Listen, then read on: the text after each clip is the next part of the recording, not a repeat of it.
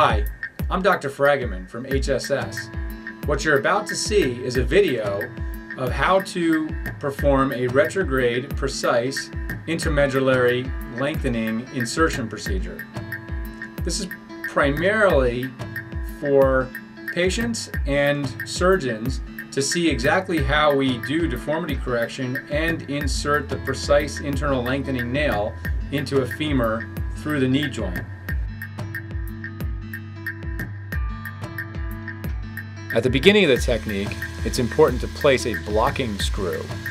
The blocking screw will help direct the reamer and the nail. This is to enable deformity correction to be done accurately.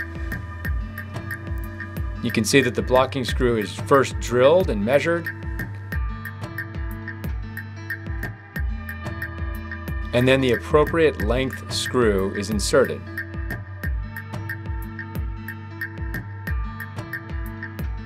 The screw is inserted into the precise spot that I planned in the preoperative planning.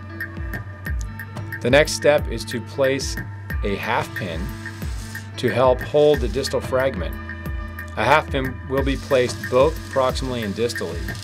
The distal half pin needs to be posterior to the entry site for the IM nail. This is best done under fluoroscopy.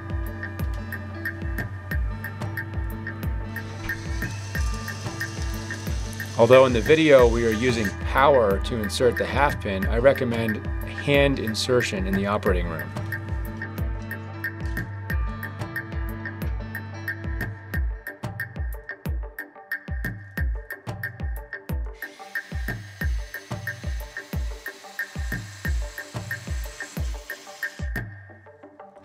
The internal lengthening nail that I have planned for in this case is relatively short.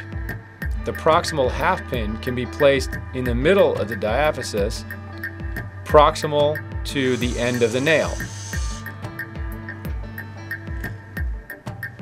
This is different than the distal pin, which needed to be placed posterior to the path of the nail.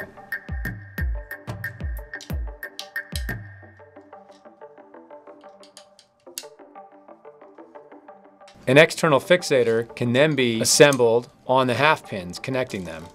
Alternatively, a femoral distractor could be used. The timing of placing this is up to the surgeon. This does help give some stability to the bone after osteotomy. The next step is to insert the guide wire precisely along the path that I want my reamer to follow.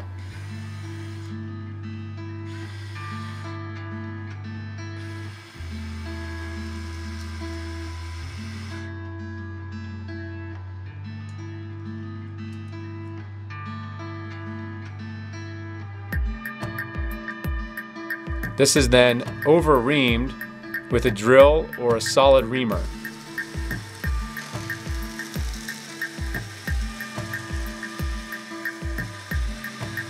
The solid reamer is inserted to the site of the osteotomy. The next step is to make the drill holes for the osteotomy. The technique I use is a multiple drill hole and then followed by osteotome type of osteotomy. This is also known as a corticotomy. You can see that the entry site for the drill holes doesn't change and what changes is the direction of the drill. So multiple drill holes have been created. Then what I like to do is do a second independent drill hole in the same plane as the first, just posterior to it, to go through that thick posterior cortex of the femur. Once the drill holes are done, an osteotome is then used to actually break the femur through corticotomy.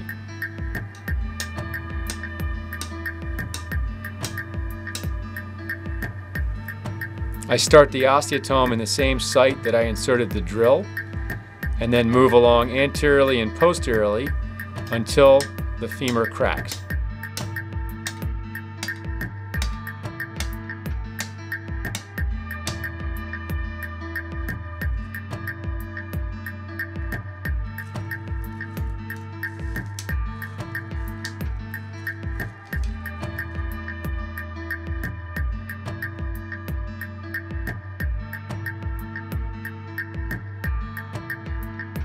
The osteotome can then be used to separate the two bone fragments.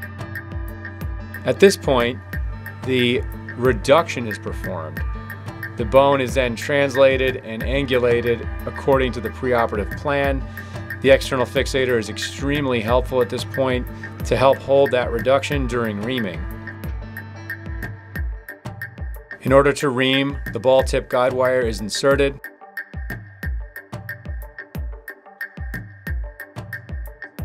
Sequential reaming is then performed, starting with the smallest end cutting reamer and then going up by one to half millimeter reamers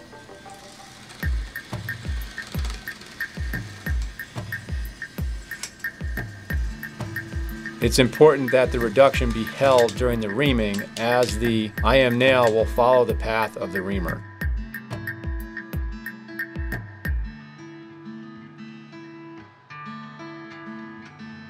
Once the reaming is completed, the IM nail is then inserted.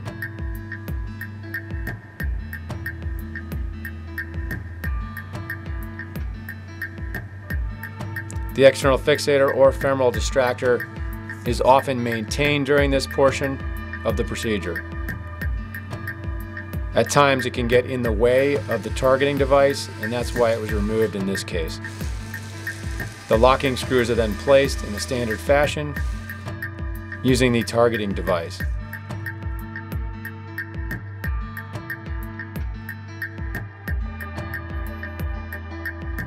The locking screws are smooth so they're pushed into place and then threaded in for the final few turns.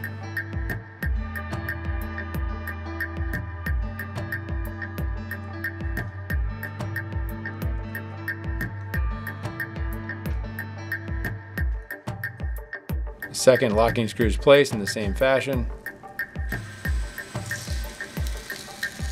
The length of the screws can be measured off of the drill bit directly.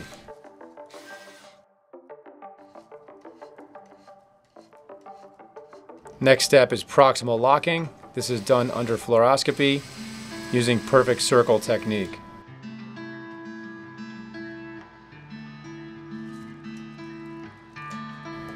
The screw is pushed into place and then threaded in, exactly the same as the distal locking screws.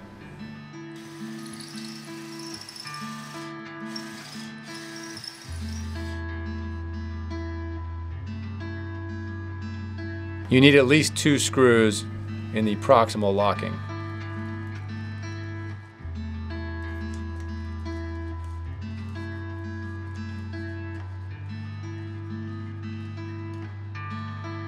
Don't forget these are captured screws, so they need to be unthreaded before removing the screwdriver. At this point the nail is locked and final images are obtained the decision then needs to be made whether to add additional blocking screws. In this case, an additional blocking screw was thought to be necessary in the proximal fragment, and then that was added.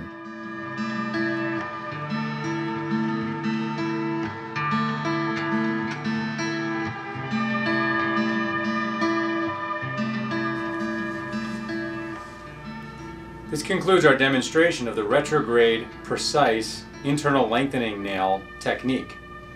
As you can see, we've made effective use of the blocking screws. We've performed a full deformity correction exactly as planned based on our preoperative planning. And now we're safe to go ahead and distract. And even though we've done a correction and there's not perfect bone contact, the bone will grow and heal very well. Thank you.